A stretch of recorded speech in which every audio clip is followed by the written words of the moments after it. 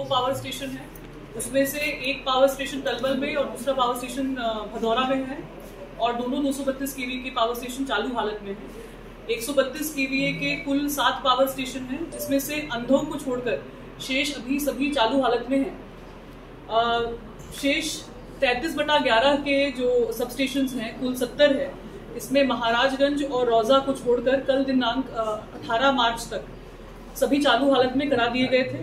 लेकिन आ, कल रात को जनपद में आंधी तूफ़ान और छिटपुट बारिश की घटनाएँ हुई जिसके कारण तीस सब स्टेशन फिर प्रभावित हो गए। अभी 40 सब स्टेशन चालू हालत में है। शेष पर विद्युत आपूर्ति सुनिश्चित कराने के लिए आ, हमारे अधिकारी प्रशासन के अधिकारी और प्राइवेट लोगों को कर्मचारी और लाइनमैन को ढूंढ करके कार्रवाई कराई जा रही है। यथाशीघ्र इन सभी प्रभावित सब स्टेशनों में विद्युत आपूर्ति का कार्य प्रारंभ हो जाएगा। हमारे जनपद में कुल 26 प्राइवेट फर्म से 280 एसएसओ और टेक्निकल पैन पावर लगाए गए हैं। इसमें भारत एंटरप्राइजेस जो मेन मुख्य संस्था है जो संविदा पे कर्मी लाइनमैन उपलब्ध कराती है, और उपलब्ध कराती है, उसमें से 70 एसएसओ और अन्य 25 फर्में जो विद्युत सुरक्षा द्वारा दी गई हैं, उसमें से 200 मैन पावर लगाए गए हैं, और सभी जगह इसका कार्य चल रहा है।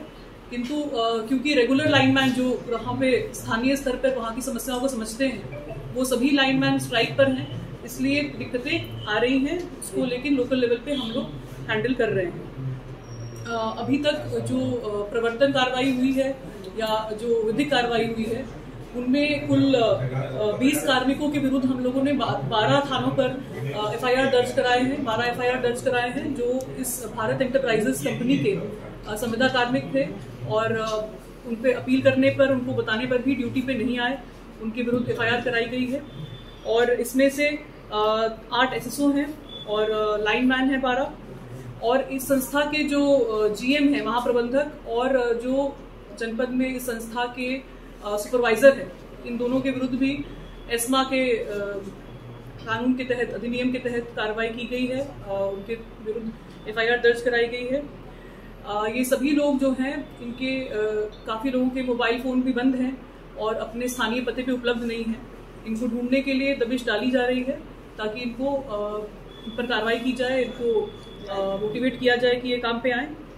जनपद के लोगों की समस्याएँ और शिकायतें सुनने के लिए आप सबसे अपील है, कृपया जो कंट्रोल रूम नंबर है, उस पर आप शिकायत दर्ज कराएँ। इस कंट्रोल रूम का नंबर है बाईस चौबीस ज़ीरो इकतालीस, जो कलेक्ट्रेट में बना हुआ है, चौबीस घंटे क्रियाशील है।